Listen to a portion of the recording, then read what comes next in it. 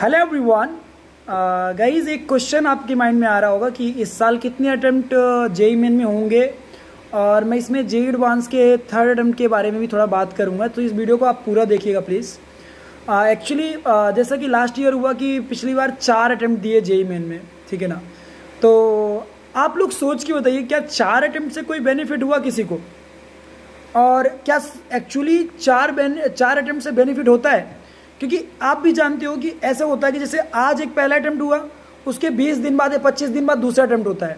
आप सब जानते हो नंबर ऑफ़ अटैम्प्ट बढ़ाने का कारण क्या था कि भाई बच्चा अपने रिज़ल्ट को एनालाइज करे प्रॉपर तरीके से दोबारा अच्छे से प्रिपेयर करे और फिर पेपर दे, है ना? तो यार पंद्रह से बीस दिन में तुम्हें ही पता है कि दो साल का कोर्स तुम क्या प्रिपेयर कर लोगे, दोबारा अच्छा कर लोगे। यू नो दैट ठीक है ना? वो तो बस ये होता है कि एक मरहम लगाने का तरीका होता है, ठीक है ना?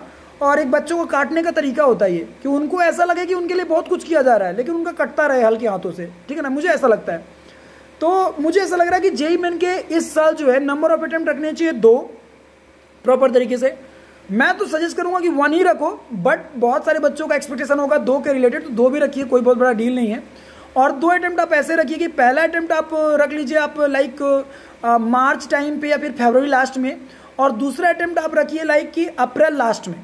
ठीक है ना? दो अटैम्प्ट रखिए और प्रॉपर तरीके से दोनों अटैम्प्ट के बीच में आप दो से ढाई महीने का गैप रखिए।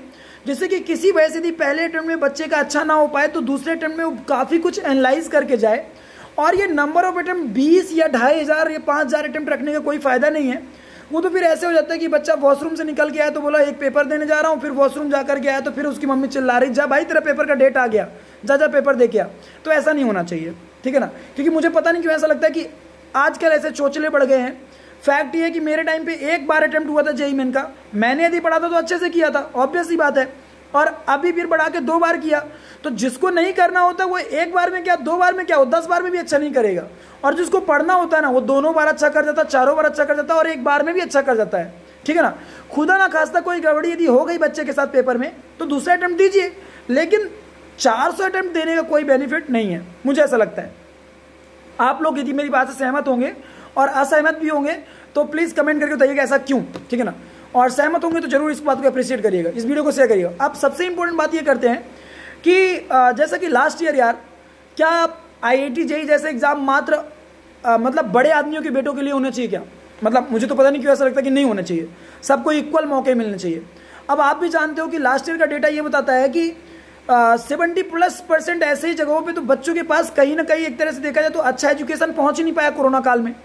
तो वो बच्चे तुम खुद से सोच के बताओ। वो बच्चे किस हिसाब से तैयारी करके एडवांस का पेपर दिए होंगे? मतलब लॉजिकली वो बस पेपर दिए, वो किए कुछ नहीं है। ठीक है ना?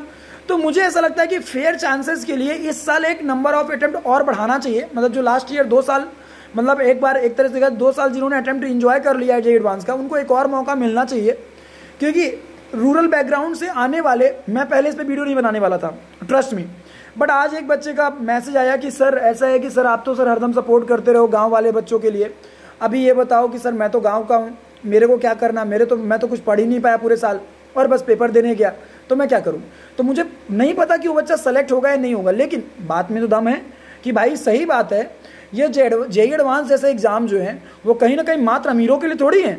वो तो यार उन गाँव के बे, बेहद ही गरीब क्षेत्रों के बच्चों के लिए भी है ना। उनके लिए भी अपॉर्चुनिटी होनी चाहिए। आईआईटी उनके लिए भी है। Indian Institute of Technology Indian शब्द यूज़ है। है ना? मतलब इंडियन मतलब सबके लिए। तो मुझे ऐसा लगता है कि आ, जो एग्ज़ाम कंडक्टिंग अथॉरिटीज़ हैं उनको ये बात सोचनी चाहिए। और आप लोग भी इस वीडियो को शेयर करिएगा और दूसरे भी यूट्यूबर्स को टैग करिए। लेट देम नो वो भी शायद तक वॉइस रेज करें तो ज़्यादा अच्छा होगा आप लोगों के लिए। ठीक है ना? Thank you so number of JEE attempt के बारे में जो मैंने आपको बताया जो सोचा वो सही था गलत आप ज़रूर कमेंट करके बताइएगा। ओके